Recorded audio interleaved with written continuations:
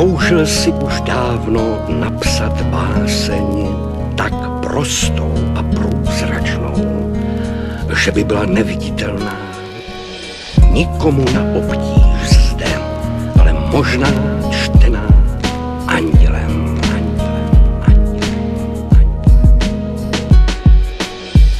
A přemýšlel si často,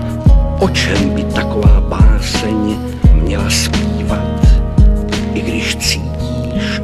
čemkoliv, jenomže tak